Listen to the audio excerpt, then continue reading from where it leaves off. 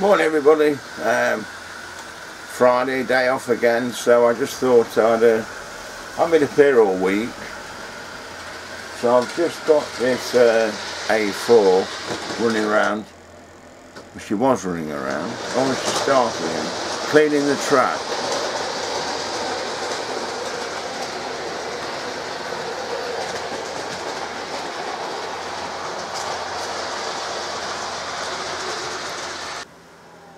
This A4 I'm using here is uh, Sir Ronald Matthews. Um, it's got a ringfield motor in it, so it's not the most um, smoothest of running locos. But I've hardwired a DC chip into it, so it runs quite well.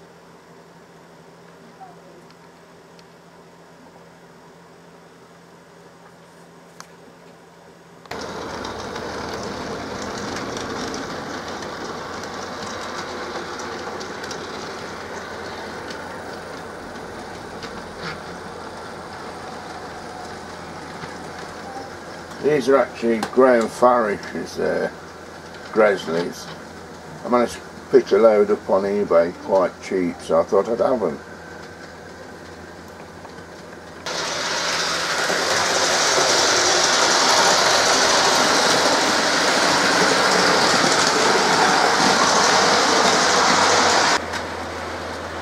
Well there we have it, five slightly different portraits, all in their own so what products did I use this, during this video? Well, we had um, Railmatch 2405 Dark Rust, and that's what I used on well, what I thought we do.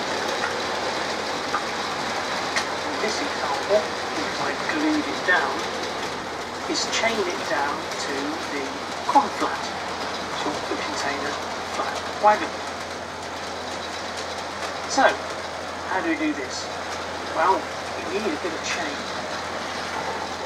Now these three necklace chains shown here next to this scale ruler, it shows you exactly how they are to scale. So here is one foot and four millimeters per foot, so you say there must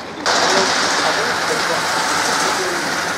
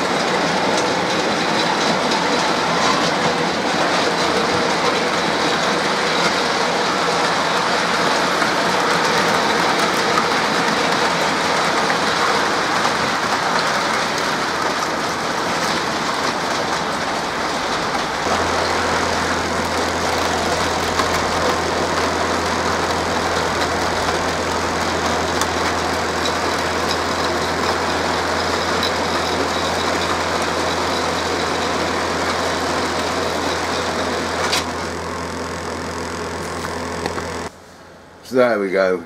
Short bit of running anyway. Um, I was going to start these point motors today, but it took me so long to get this track set up, so um, it hasn't happened. Maybe tomorrow. But that'll do just for a quick running session. At least I got the track back up and cleaned down and everything.